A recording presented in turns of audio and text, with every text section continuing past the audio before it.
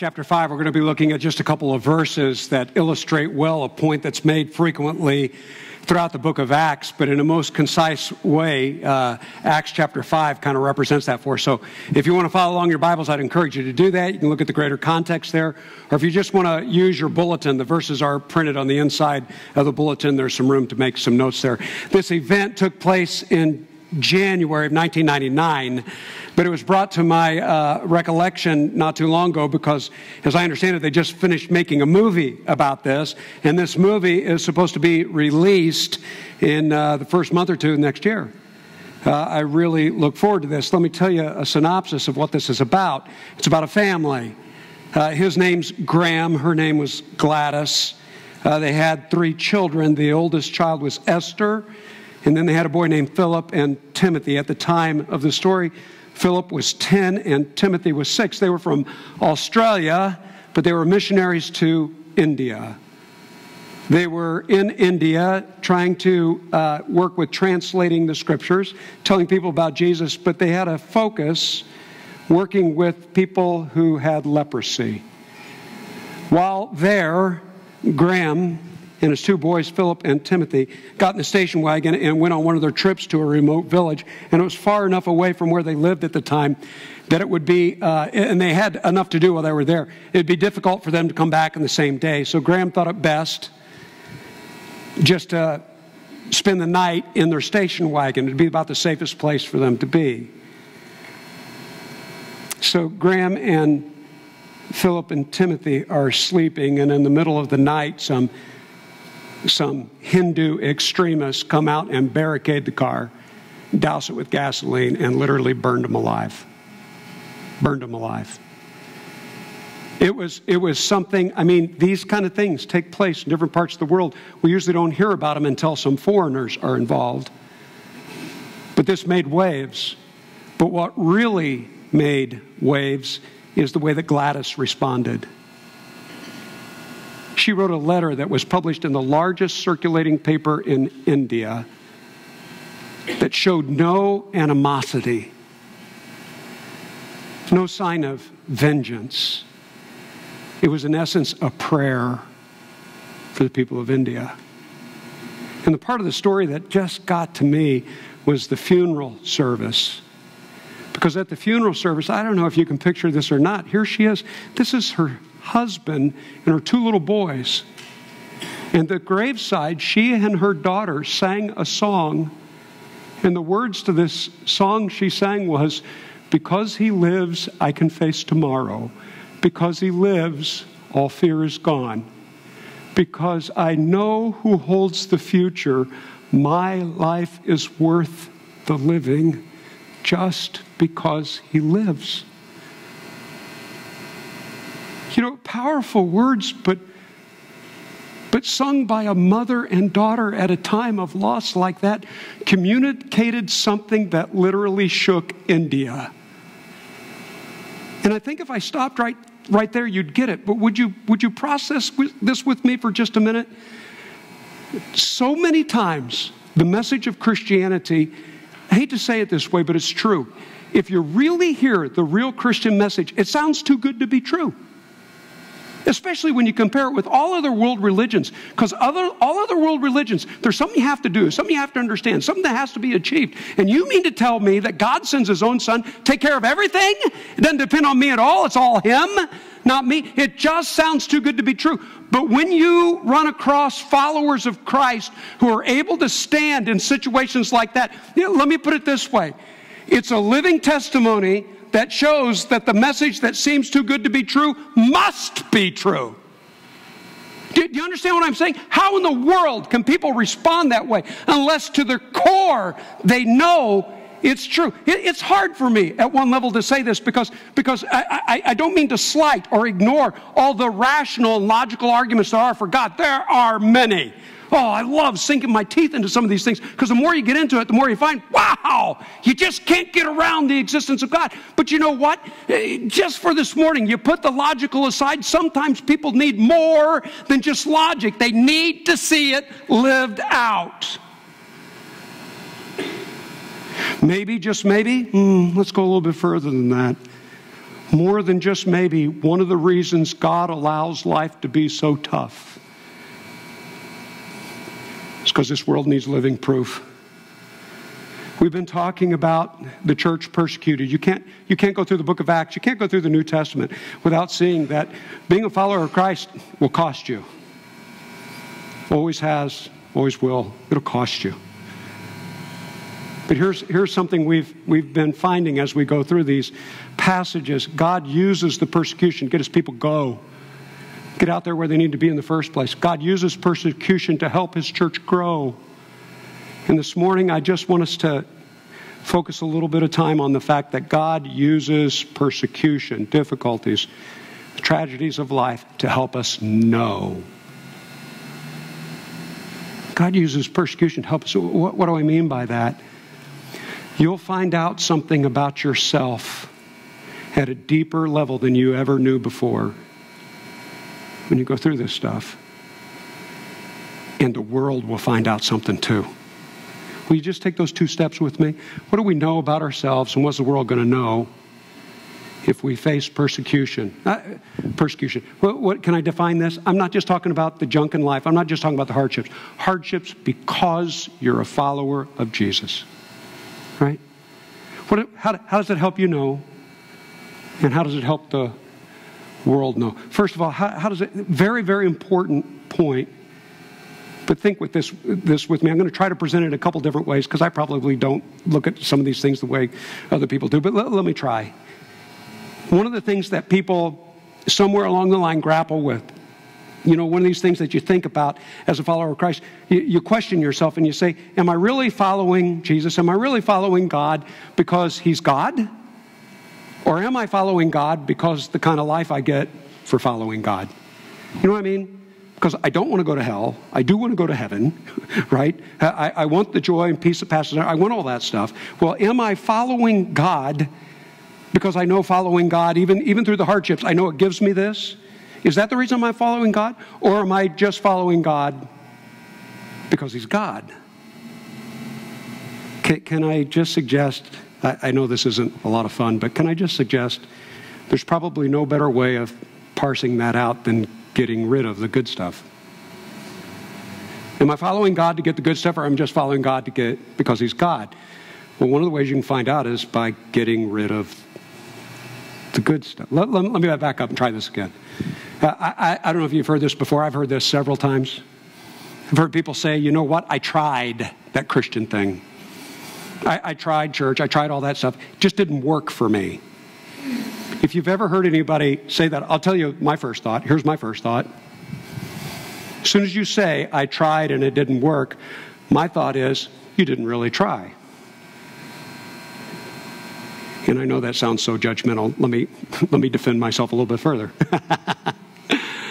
the reason why I say you didn't really try, because if you say you tried and it didn't work out, then it tells me you didn't really try the way it was meant to be tried, because the way it's meant to be tried, there's no working out. Whether it works out or not, God is God. Does that make sense? Whatever's most important to you is your God. First commandment says you should have no other gods before me. God needs to be most important to you. If you're following God because blank, then you're not really letting God be God. The blank has turned into God. Let me give you a biblical illustration of this. It's found in Genesis chapter 22. The verses, verse 12. Very familiar story. If you read through Genesis anytime recently, there's this guy named Abraham. Can't miss him. but Abraham has what many people would say his greatest challenge because the child he's been waiting for his whole life. God says, I want you to offer that child to me. In the 22nd chapter of Genesis, Abraham's got knife in hand. Book of Hebrews tells us Isaac was as good as dead. He wasn't pulling one of these, I'm really going to do it. No, he was really going to do it.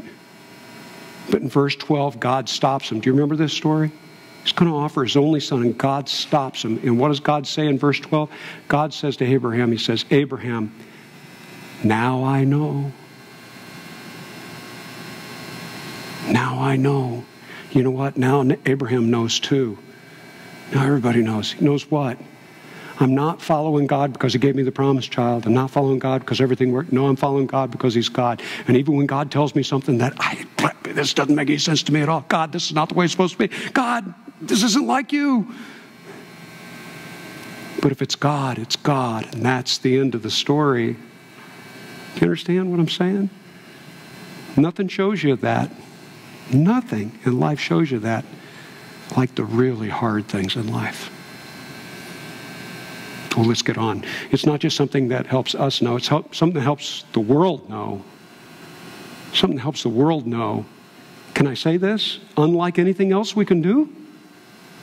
Ajay Law, missionary to central India, talked about him a few weeks ago, told us about one of the young men in his church in India. He was a new convert. He'd only been a Christian for about a year when this happened. He was raised in an Islamic area of, usually you think Hinduism, but this was Islamic. He was, he was raised in an Islamic area of India been Islamic all his life, but he was converted to Christianity. About a year after his conversion, some of his closest companions, people he would have called his closest friends when he was Islamic, kidnapped him. They kidnapped him. They beat him up. He's laying on the ground, all beaten up. They made their intentions known. They were going to kill him. And he knew this is probably the last few minutes of my life. So if you if you can picture this guy's beat up by people who've known him all his life, and one of the guys has his his foot right on his chest. And he said the interesting thing was, you know, uh, it's, it's not one of these honor things, you know, we're, we're doing this for our faith and stuff like that, we're killing this person. No, he said it was much more personal. And, and he said what, what he meant by that was, was it was so, they were so angered. It's like they took this personally. They were so mad at this guy, they were screaming and yelling at him. They, they told him that they intended to kill him, but they wanted to ask him for something first. It bothered them so much. These guys with their foot on his chest, they're screaming at him and they say, Why? Who, why did you leave us? Why, why did you choose Christianity over Islam? Why the Bible over the Quran? Why, why this Jesus instead of Muhammad? Why? They really wanted to know. And so here, here he is with his foot on his chest, praying the whole time, but thinking this may be the last thing he ever says. And in boldness, here's what he says. He says to, the, to, to these guys who knew him, he said, let me ask you something before I answer you. Let me, let me ask you, have you seen any difference in my life? You've known me my whole life. Have you seen any difference? And that agitated these guys who were attacking him. They really got worked up and they said, Yes, that's why we're so mad. It's like darkness to light. You're, you're, you're like a person we never even knew. You're so good, it makes us mad. And his response is, Well, then that's my answer. That's why Christianity over Islam. That's why the Bible over the Quran. That's why Jesus over Muhammad. And he says these guys who intended to kill him were so shaken they left the room. That's why he lived to tell the story. Listen, I hope and I seriously doubt that anybody's ever going to put a foot on your chest. But they are going to put eyes on your life. And they're going to put eyes on your life, especially when life gets really, really hard. And they want to know is there a difference? And you know what? Your life can can show that it really is true. I, I know I've told you before, but it just, I, I, forgive me for telling you again, it just illustrates, I think, the point so well. Homeschool Legal Defense magazine that they put out several years ago had an article about a man, and if memory serves me, it was happened in Pennsylvania. I could have some of these details wrong. And I also believe he was an Amish man. Those parts I'm not sure about, but the rest of the story I am sure he was taken to court. He was taken to court because he didn't send his son to public school. The rules for homeschooling are different in different parts of the country. And evidently, where he lived, he didn't meet the requirements. Some places you have to have, you know, bachelor's degree or you have to have certification or something like that before they allow you to homeschool. He did not meet the requirements. He had been warned several times. He was finally arrested. He was brought into court, and they were this, this was a synopsis of what took place as he's there in the courtroom, the judge tries to explain it to him one more time. He says, Mr. So and so, I'm, I'm, I'm under the impression this has already been explained to you, but let me just go ahead and verify this. You do know that you're breaking the law. The laws for sending your children to school are such and such. You don't meet these requirements. You're violating the law. And he says, I understand that. The judge says, All right, you're going to be punished if you don't send your child to school. And the judge gave him a certain amount of time. I think it was a week. He said, I just want you to know if by next week you haven't sent your son to public school, you will be arrested and you will serve time. And the Amish man responded by saying, Judge, I don't need a week. I'm going to give you the same answer next week I'm giving you right now. I am not sending my son to school. And so the judge was agitated and said, All right. And he ordered him be taken down to a holding cell. Says, You're going to jail. You're going to jail right now. They took him, they locked him up, and a few minutes passed, just a few minutes, and the judge ordered that he be taken from the cell and brought back to the courtroom. And when he was brought back to the courtroom, the judge announced to everybody, all charges dismissed. He can take his son and go home. Everybody else is shocked. And the judge says, Let me explain it to you. He says, The law does require that you send your child to school, and here are the standards, and he doesn't meet those standards. But the only exception the law makes is not for any preference, including religious preference. It only makes an exception for religious conviction. And this man just proved to me it wasn't a preference, it was a conviction. That is what the world's waiting to see. It's not a belief that comes and goes. It's not a belief that we have when it works. Even when it's even when it's that which we never thought would happen. We know we can face tomorrow.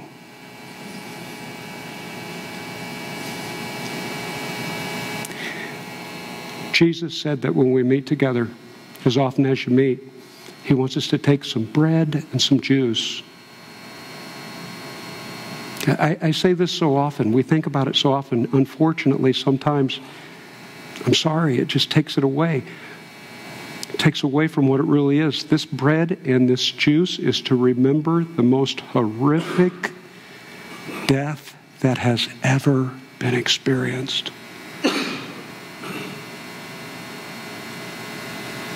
He asks us to regular, regularly remember the most horrific death that anybody ever experienced. And why was Jesus willing to experience that death? Because he knew it really was possible to get you and me right with our Father in heaven through his suffering. He proved it's true. That's why he was willing to suffer.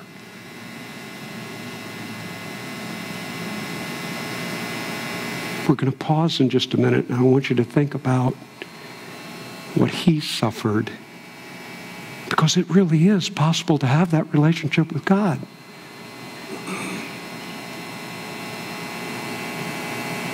But I also want you to think about what you're willing to suffer. Because it's true.